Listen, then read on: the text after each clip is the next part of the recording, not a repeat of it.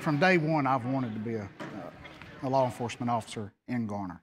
This is my hometown. I wanted to give back. Ever since I can remember, my dad uh, was chief of police here from 1970 to 1989. So I grew up in the law enforcement family, especially when the, the department was so much smaller. I knew all the officers growing up, and they knew me as well, probably sometimes not on good terms. so growing up in the law enforcement household, I knew I was going to be one or two things, a teacher or a cop. And I, I get to do a little bit of both. Uh, I get to be a law enforcement officer full time, and I get to teach on the side.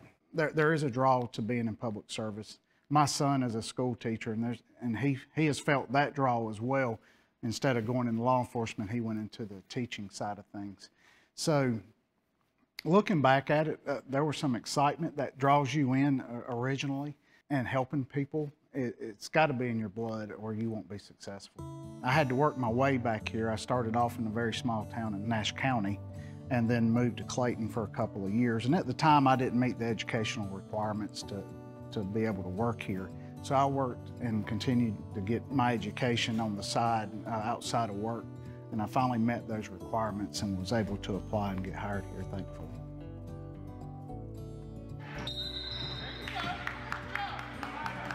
Back in 2010, myself and, and some members of the community got together to form a board to start talking about how can we help uh, the Garner community, all of the Garner community.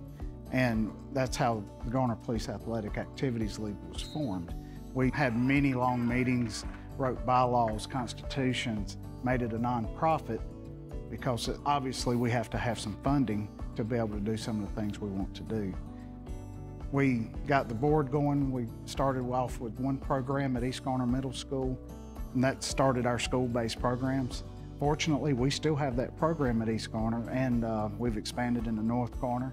Most recently, we've partnered with the Garner Parks and Recreation and Cultural Resources Department, and with their basketball league. So we have a PAL Garner Parks Cooperative Basketball League going on. So over all those years of doing that, we, we've gotten kids involved in boxing, um, jiu-jitsu, after school activities. We've taken them to uh, Mudcats games, Carolina Hurricanes games, and it hasn't costed these kids a penny. And through Garner PAL, I was able to form a relationship with a child. His name is Kamari Campbell. He, uh, during his time with us, he, at, with PAL, he was at uh, Creech Road Elementary School. And at the time, we had programs in every elementary school as well and he uh, developed brain cancer and ended up passing away from it. That child wanted to be a cop so bad.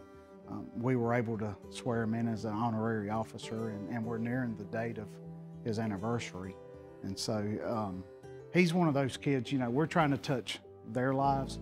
He touched ours tremendously. Hey, keep pushing. On defense, get me the ball. Get, get the ball, push. Don't slow down. They're all over the glass. They're fouling us. Let's make the free throws. If not, make it and one. And then if not, we'll just make it. Hey, hey, seven more minutes. We have been very fortunate in Garner with our community relationships, and, and I attribute that to having a constant relationship with our community back from the 70s, 80s, 90s, 2000s, and today. You can't build those relationships when there's times of trouble. The times of trouble, community shows what kind of relationships that you're having with each other. Sir Robert Peel, one of his uh, guiding principles, the community are the police and the police are the community, which basically means we have to work together. We just happen to be the people getting paid where the community's the volunteers. We cannot be successful without their help, and the community will not be successful without our help. So it, it's a relationship that has to be formed between the police and the community. When I first started out in law enforcement 25 years ago, it was arrest, write tickets, and, and help people that are in need.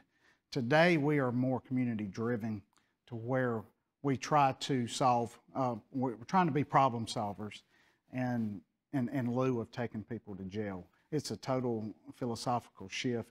We, We still take people to jail. There's times people need to go to jail. There's times people need speeding tickets. There's times uh, people need warnings. And there's times people just need us as a sounding board to be able to vent and just have a conversation. They were trying to get going in the 80s. They called it community policing. Uh, It's still community policing, but it's even further. We, we, we have officers that are trained in crisis intervention. If you'd have told me 25 years ago we'd be doing that, I, I, I wouldn't have believed it. My dad, when he was alive, the Garner Police Department had the community policing model going on, especially when he was the chief. When Chief Moss came in, he just expanded that and made it more of a role into the community. Uh, chief Zuidema continued that approach and uh, just continued expanding programs and our involvement with civic organizations, the community, and anybody that uh, we can come in contact with to have that non-confrontational setting to show that we are indeed human beings as well as they are. You're gonna help the coach tonight, all right? Our community has always been um, a very strong uh, police supporter. Anytime we reach out to them for help, they help us. And the, the biggest thing I can harp on that is you can't build that relationship tomorrow. It, it, it takes decades to build it and build that reputation. Then you have to just be extremely careful about not ruining it with one simple act.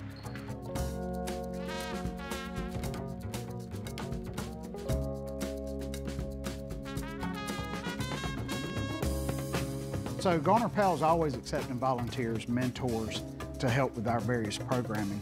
People can also get involved with our police department. We have a Citizens and Police Together team.